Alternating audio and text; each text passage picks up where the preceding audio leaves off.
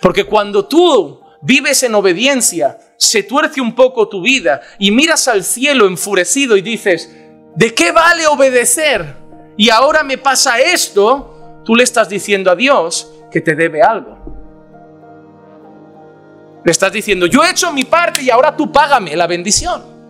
Tú págame con el trabajo, tú págame con la salud, tú págame con la prosperidad, tú págame. No vive así mucha gente. Dios me ha dado porque yo he hecho. Dios me ha abierto una puerta porque ayuné. Dios salvó a mi marido porque subí al monte. Dios bendijo esto porque hice seis semanas de oración. Deuda. Parece que Dios va debiendo a la gente. otro ahí orando. Hay que, ahora tenemos otra deuda con el pobre. Este que pide. Hay que dárselo porque estamos endeudados. No, hermano, Dios no nos debe nada por el amor de Dios.